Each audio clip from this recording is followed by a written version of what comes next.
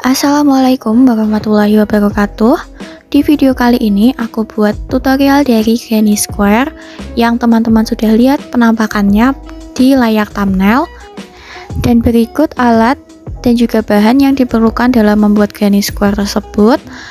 Aku juga udah taruh link pembelian alat dan juga bahan yang diperlukan Dan uh, rekomendasi lainnya di description box. Teman-teman bisa klik linknya Sebelum ke video tutorialnya, di sini aku kasih lihat dulu penampakan dari Granny Square yang sudah jadi.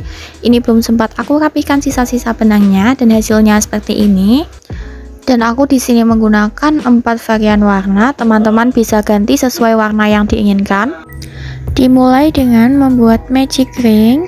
Untuk magic ring ini akan diisi masukkan hakpen ke dalam lubang ambil benang kemudian buat sebanyak tiga rantai. Satu dua tiga. Sebagai pengganti satu double crochet kemudian tambah satu double crochet.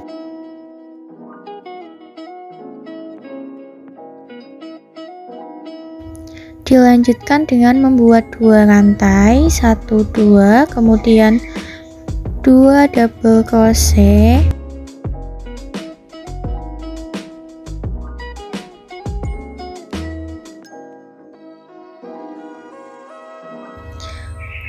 lagi dua rantai kemudian dua double crochet. Ini bisa dilanjutkan sampai sebanyak 8 kali.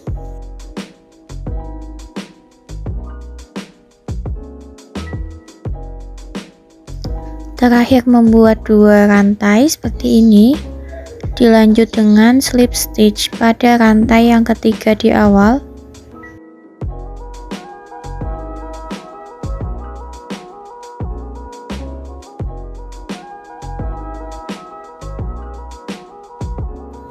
dilanjutkan ke warna berikutnya. Ikat warna merah pada sela-sela atau pada lubang dua rantai kemudian buat tiga rantai sebagai satu double crochet. Buat satu double crochet seperti ini kemudian buat tiga rantai. Satu dua tiga masih di lubang yang sama dua double crochet. Satu dua. Ini dilakukan pada tiap-tiap lubang. Lanjut pada lubang yang di sebelahnya. Buat dua double crochet. Satu. Dua. Kemudian tiga rantai kemudian dua double crochet lagi. Hal yang sama dilakukan pada lubang-lubang yang lain sampai satu putaran penuh. Setelah seperti ini dilanjutkan dengan slip stitch pada rantai yang ketiga di awal. Dan untuk baris selanjutnya masih warna merah ya. Slip stitch kemudian tambah satu rantai di lubang yang besar isi dengan 7 double crochet. 2 3 4 5 6 7 kemudian buat single crochet di tengah-tengah di sini. Dilanjut membuat 7 double crochet pada lubang besar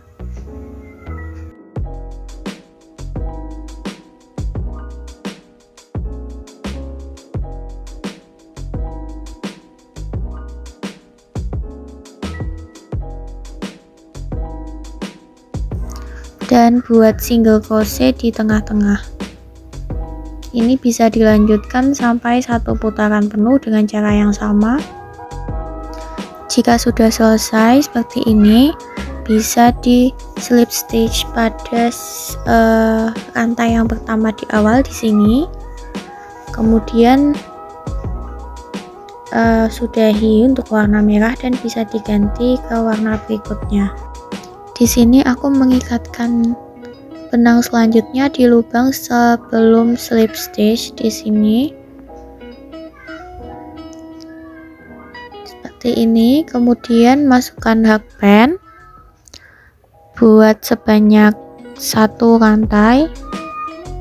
Kemudian buat half double crochet ini masukinnya di bawah ya di tengah-tengah seperti ini angkat tinggi kemudian ambil benangnya. Untuk 7 double crochetnya itu diisi satu single crochet tiap lubang sambil diselipkan benang sisanya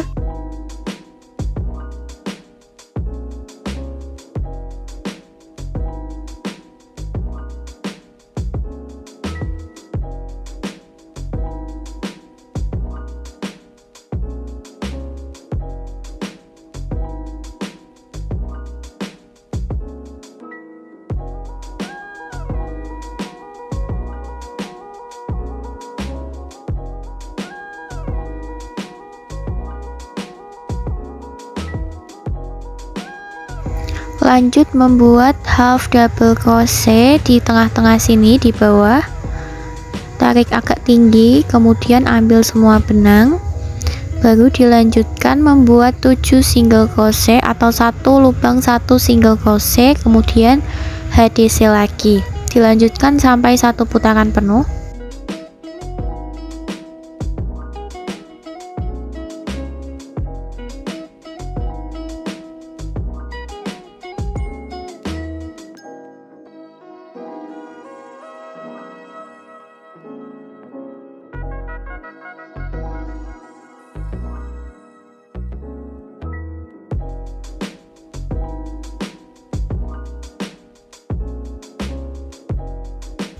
Setelah sampai di sini dilanjutkan dengan slip stitch pada rantai pertama di awal dan bisa diputus benang diganti ke warna berikutnya.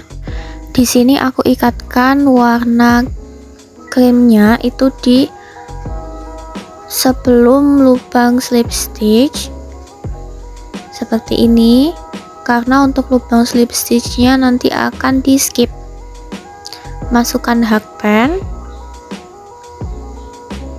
ambil satu rantai kemudian buat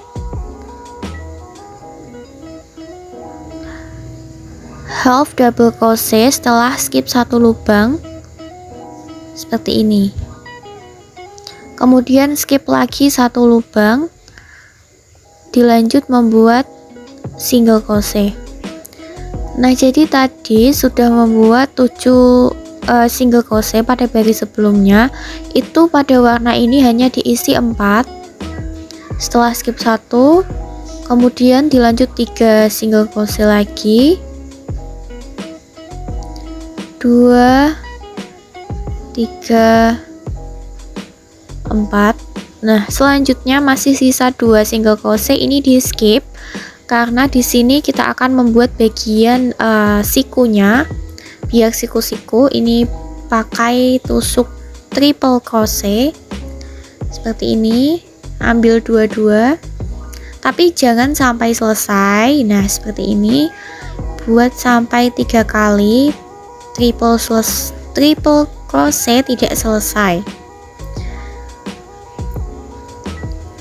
Ini yang ketiga.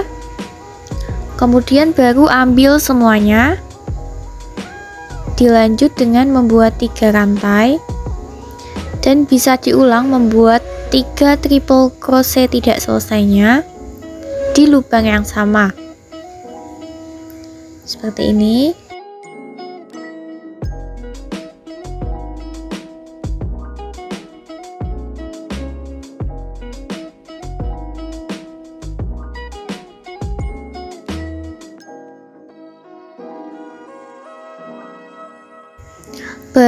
bisa diambil semuanya. Dilanjutkan membuat single crochet dengan skip dua lubang. Seperti itu dan ini nanti empat lubang yang akan diisi dengan single crochet. 2 3 dan 4 kemudian skip satu lubang di lubang yang di tengah-tengah itu diisi dengan half double crochet. Skip satu lubang kemudian buat 4 single crochet lagi. 3 dan 4 kemudian lanjut membuat bagian sikunya skip dua lubang. Pakai tusuk triple crochet yang tidak selesai ini buat tiga dulu seperti tadi caranya sama. Jangan sampai salah karena di sini yang dibuat tusuk triple crochet bukan double crochet. Jadi ambil benangnya dua kali seperti ini. Satu lagi triple crochetnya baru ambil semuanya tambah tiga rantai dan bisa diulangi membuat 3 triple crochet tidak selesai. Nah ini berarti kita perlu membuat bagian sikunya dengan tusuk triple crochet ini sebanyak 4 kali. Dan untuk 4 uh, eh, lubang bagian tengahnya itu diisi dengan half double crochet seperti tadi. Karena total kelopak bunganya ada 8 nah kalau sudah ini dilanjutkan dengan membuat single crochet 4 kali. Skip satu lubang kemudian buat half double crochet. Seperti itu untuk caranya bisa dilanjutkan sampai satu putaran. Kemudian slip stitch pada rantai satu di awal seperti ini. Buat dua rantai untuk uh, baris yang terakhir dan di tiap lubangnya itu diisi dengan half double crochet seperti ini.